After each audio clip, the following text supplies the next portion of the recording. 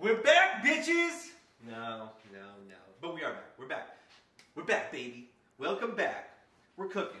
We're cooking with James. This is, it's just called foot cooking. It's food. Nobody knows what this is. It's just easy. It's cooking, it's food, it's easy shit. Here's what we're doing today. I know it's been a while, but I'm back with some awesome stuff. Today is a super easy take on a French bistro style dish. And I'm using chicken breasts. Bone in, skin on chicken breast. You can use whatever you want.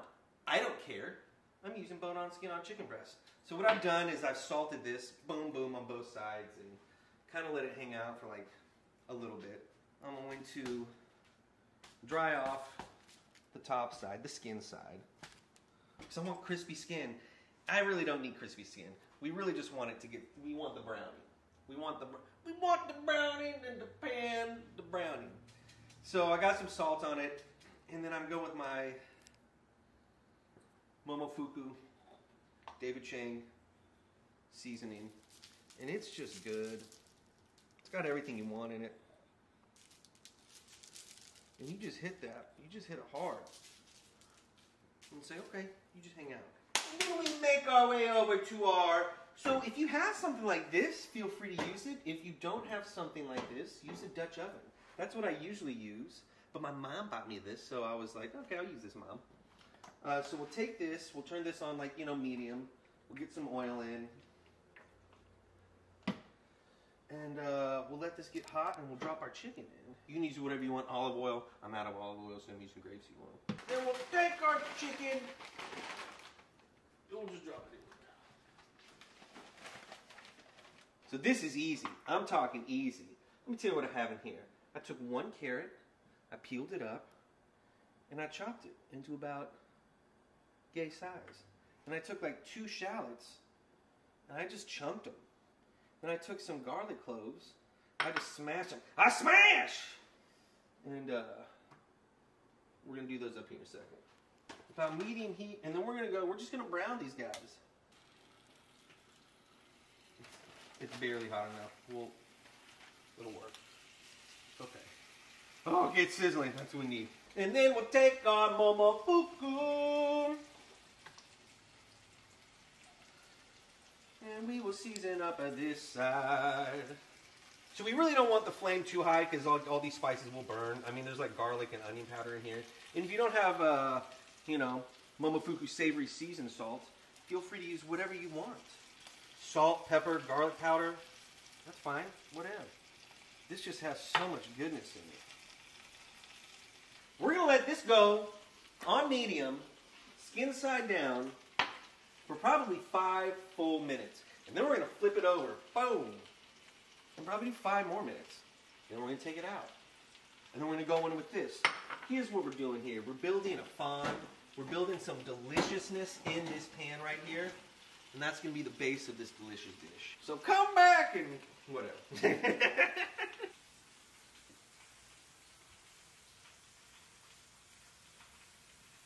well, well, well.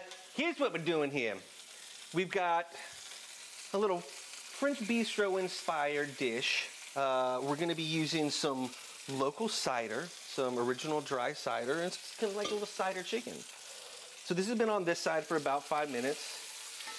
Look at this color. This is what we're looking for. What we're really looking for is this brown in the pan.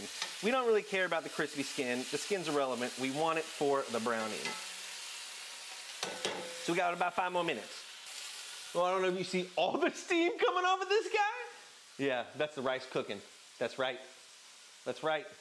That's right for all you white people. You gotta wash your rice before you put it in this guy. But then once you do that, it does the rest for you. That one looks kind of anemic, but whatever. Nobody cares. We don't really care about the skin. We care about the the fond underneath. That's what we want. That's the gold. The gold.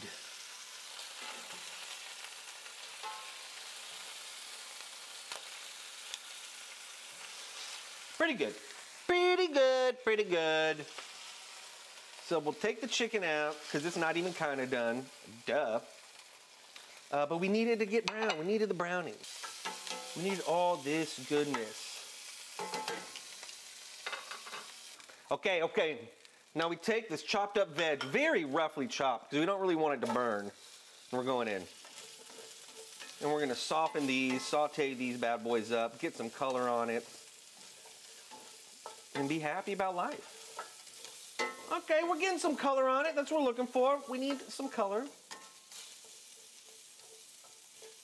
We need more brown goodness in this pan. We could deglaze with the cider.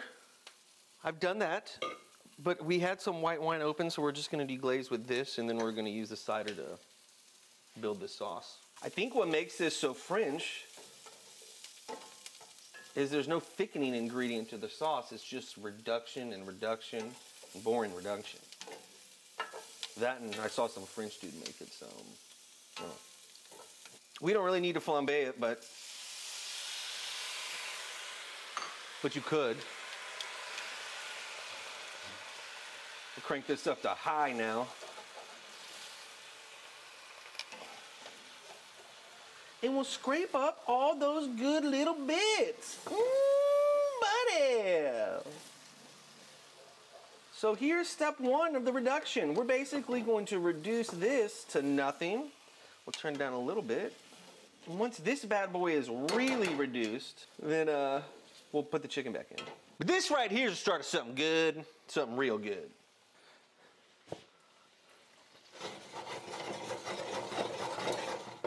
So, and it's going pretty fast. All right, this is pretty, pretty reduced, guys. Pretty much nothing left. So we're going it back in with the chicken. And the chicken juices. And now we're gonna take this cider. Oh yeah, we're gonna turn this back up. We're gonna take this cider and we're just gonna go in with it. Oh yeah, baby. About, screw it. That's too much, but I don't care. I don't even care. That's what cooking is, guys. That's what cooking is. So probably do less than I just did, but whatever. We're gonna crank this up on real high. We're gonna get this boiling.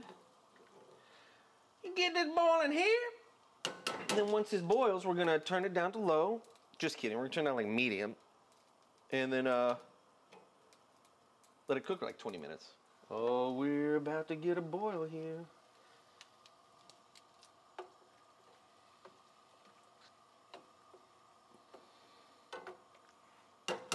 And I'm gonna cover it up and totally destroy the crispy skin that we did. But again, I don't care about the crispy skin. I care about making the sauce delicious.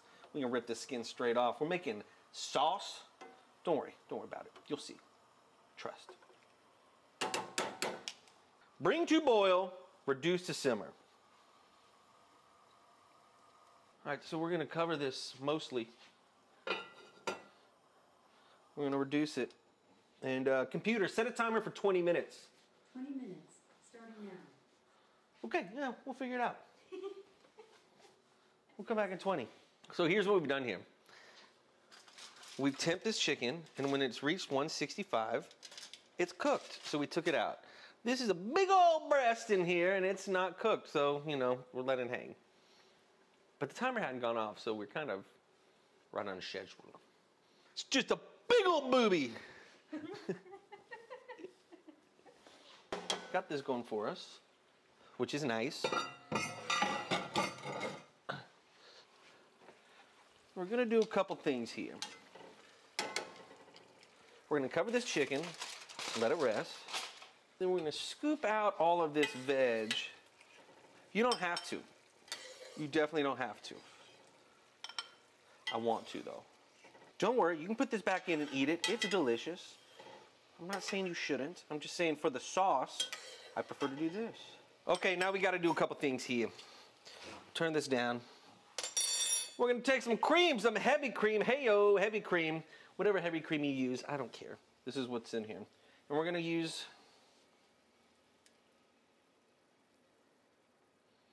like that much. Then we give it a stir.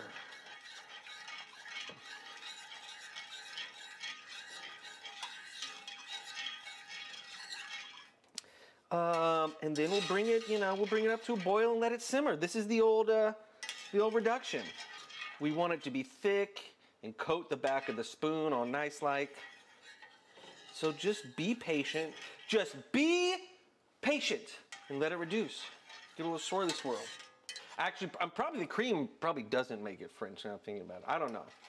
If this was like a real French bistro dish, I doubt there'd be cream in it.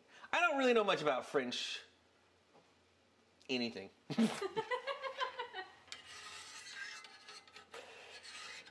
I'm a patron of the Dumb Zone, so I know nothing.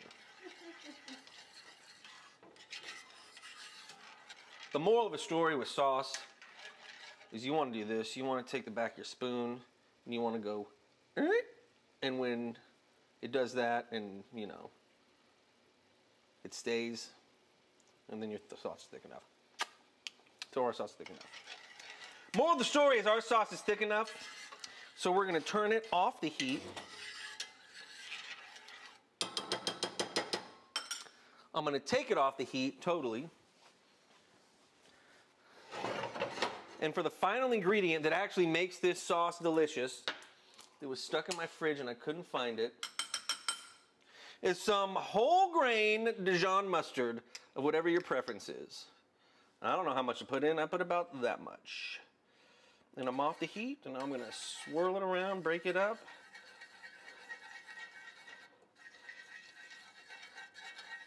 And this Dijon goodness is going to be la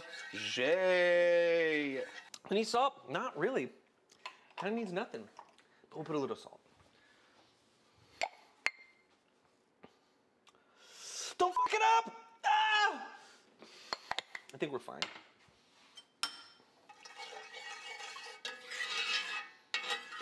All right, let me plate this up. I'll come back to you. I glitter around that.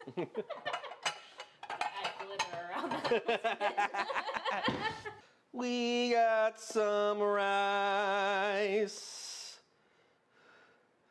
We'll actually get a big helping of rice because this is delicious. Okay, we'll take our sauce. Ooh, we'll hit it up. We'll hit it up twice. Ah, and because it's so brown.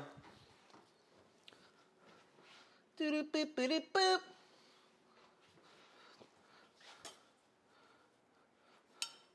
Remember that veg I was talking about earlier?